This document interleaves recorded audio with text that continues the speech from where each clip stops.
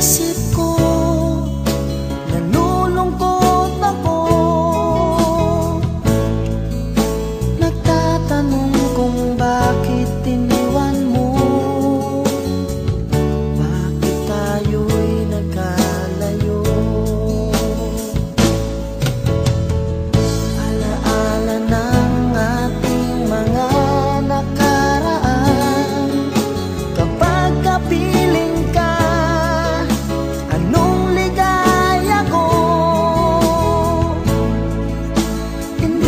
ba sapat ang pagmamahal ko?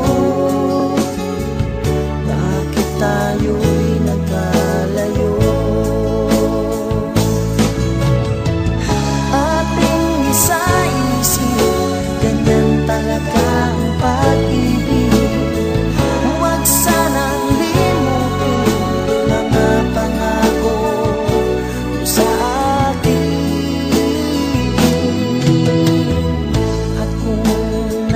sa